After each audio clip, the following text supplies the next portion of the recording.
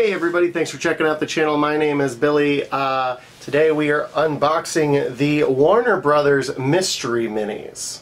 Now this may look like a full untouched case, but it is not. Uh, I got this at Hot Topic and there were a few missing and then there were a couple extras over on another shelf so I kind of put them all together and made a case. So I'm not going to do a layout but I am going to do 12 mystery minis and I am going to give you the weights in the description below. So I'm super excited about these, uh, mostly because I'm a huge Looney Tunes fan.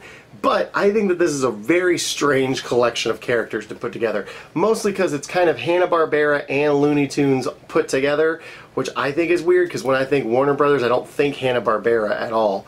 Um, but this is just what they made. So I would I would take a whole Looney Tunes set before this, but it, it is what it is.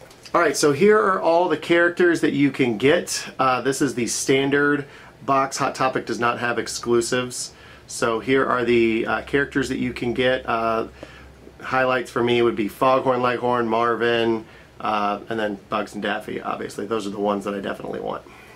I'd also like Quick Draw, McGraw. That would be awesome. Uh, I And Huckleberry Hound would also be cool. I would have loved if there was Top Cat in here too. That would have been really, really cool. Uh, Walgreens has exclusives. I believe that they have Wile E. Coyote and Roadrunner. Maybe, maybe they have Speedy Gonzales. I'm not 100% sure. Um, and then Target's going to have exclusives, and then Toys R Us has exclusives, and I can't remember what they have. I think Toys R Us might have the Jetsons characters in theirs. Um, so yeah, once those start showing up, I'm going to get more and more, but I wanted to get a standard box so we could go through these and, and you guys get a chance to see them. Alright, first one, here we go. When you do scale something, it's important to make sure that you are leaving the wrapper on. Um, if you are going to just scale your figure, you have to account for the weight of the wrapper, the weight of the box, and the weight of the inside wrapper as well. So, um, anyway, let's get into this. 48.2. 48.2 is this one. Alright, and we have our first Bugs Bunny. He is a 1 in 6. I am expecting to get at least two of these. Uh, Bugs Bunny will be one that I get two of probably. Uh, also Yogi, Marvin, and uh, Daffy are also 1 in 6s. So this is the first Bugs Bunny. I, I'm okay with the Bugs Bunny. Actually, of, of the um, Looney Tunes ones, he's actually probably my least favorite of the designs that they've done. I just think his face looks really lazy. Um, I'm not really too into that.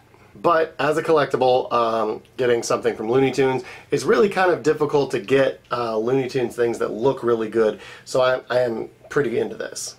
Alright, this one's a 48.8, so this could be another Bugs. Um, and I did pull them both from the front.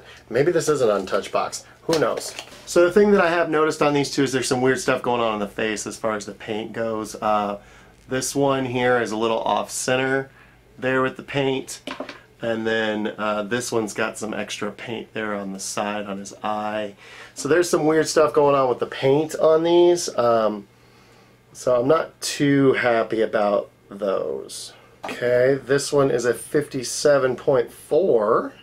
And we have a Fred Flintstone. There's uh, old Fred right there in his glory. I actually like the Fred Flintstone. I think he looks really good. Um, yeah, I'm actually not disappointed with that at all.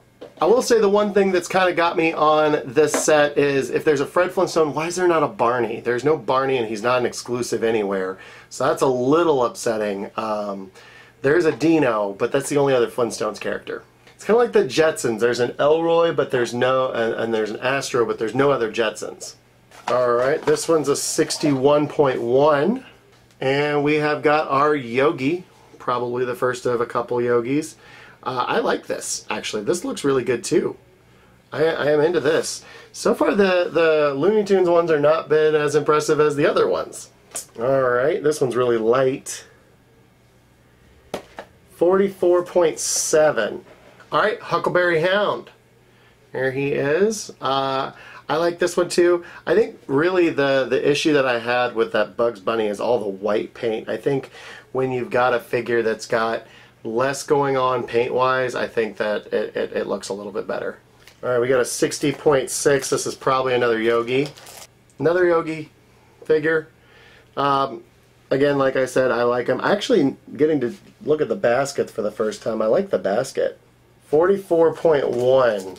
So, hope it's not another Huckleberry. I can't do any more of these duplicates. This is killing me already.